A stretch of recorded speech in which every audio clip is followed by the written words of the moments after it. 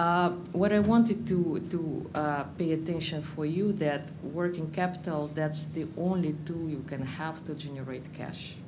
Because after operating profit, what do you have? Like you have capex, you have taxes. Like the only thing that investors are looking for is to generate cash.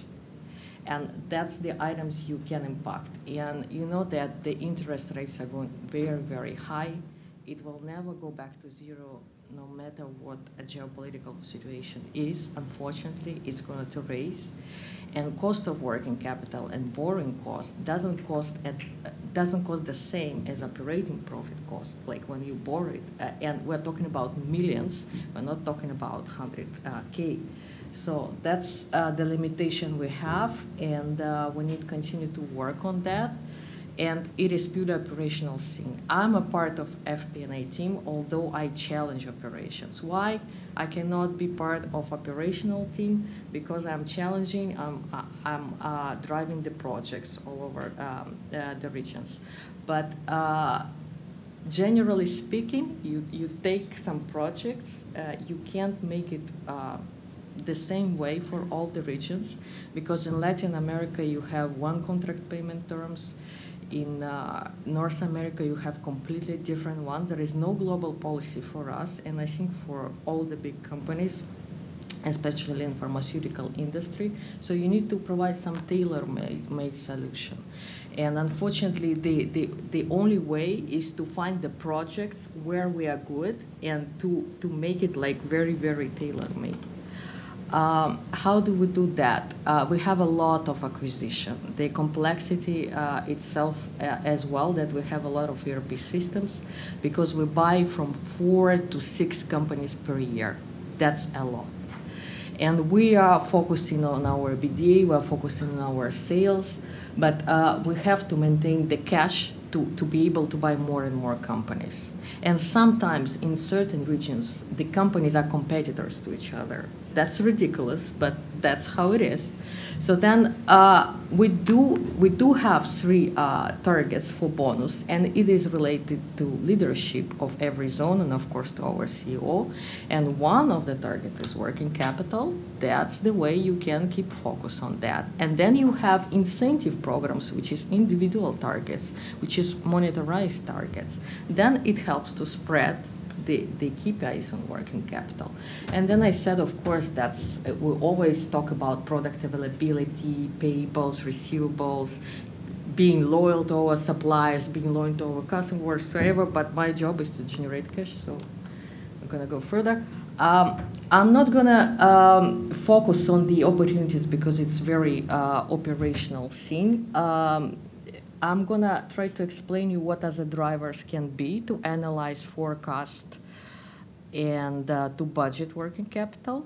And I'm going to explain how do I align those targets. Uh, for you to, to think about it if you can implement or for your future you have ambitions to become a CFO, which probably some of you have, then you need to think about working capital as well because that that would be your uh, at one point uh, that will be your role to to balance it. So then i'm going to focus on the first two because we don't have much time left unfortunately. But then uh, i'm going to first speak about uh, how do you work with database. So when you start to budget or to forecast working capital you need to I think for EBITDA as well, you need to, ex to exclude everything which is one-off. Everything what happened to you last year, the year before, which was one-off, and it will never repeat again. So this is the guarantee. No matter if you will hire someone uh, from the banking service, like it was presented today, like supply chain financing or procurement uh, database benchmarking, um, no matter what you're going to do, or you're going to do it yourself, like you're going to have a working capital manager in your future team, doesn't matter. You need to have a good database because if you hire someone and spend a lot of money, uh, you need to make sure that your database is, is correct, you have all payment terms and, and, all the data. And then you need to set assumptions, but very particular assumptions. Like, I beg you not to uh, set up something like percentage of overdue decrease. It doesn't make sense at all. Because when you're going to analyze your actual results versus budget versus forecast, you're not going to find the reason. So you need to focus on top suppliers, on procurement, and you need to focus on specific buckets or specific clients, you need to filter the data to give some assumptions. Otherwise, it's just very, very generic, and uh, uh, it will not make sense for you to analyze that. You can draw the picture uh, for budget, for forecasting finance, but without operational drivers, uh, it's just you're not going to make it. Uh, if you think about this, um, working capital, uh, if you don't do operational projects, if you don't do any uh, uh, efficiency in your company, uh, the working capital will only differ from months to months by your P&L spend and by your sales. There will be nothing else. So if you don't do any officially collection focus, if you don't do payment terms, if you don't do stock optimization, that will only differ by your spend and that's what happens in most of the companies. You draw your DSO, DPO, DIO, that's a KPI, but that's not the driver. That's a reporting KPI. That doesn't make sense, especially when you calculate it by 12 months average. That doesn't show anything. You will not be able to catch the moment when you make a decision. So when you talk about receivables, please talk about contract payment terms. Please don't talk about DSO or refer your DSO to a specific uh, uh, operational cycle of your industry. I'm going to explain you why. Because uh, at the left side, you have uh, this sales understanding, which probably most of the company have, is average 12 months. When in nominator you have trade receivables, and in denominator you have average sales of the year. That's what it is you're not going to be able to take to be able to take any decision or analyze the, the, the seasonality here. Because uh, there is no seasonal fluctuation. Uh, what you have to link link to it is to operational cycle of the company what do i mean? Uh, for example you are in a EMEA region and for example your uh, average or weighted average contract payment term is 30 days. That's how you pay, or how the, how the clients pay you. For example, the pharmacy or the hospital. They the contract is 30 days plus minus two weeks of the overdue, which is a healthy overdue. So what you have to do is to take trade receivables and divide by two months of your sales. Then you will understand the fluctuation, and then you will see.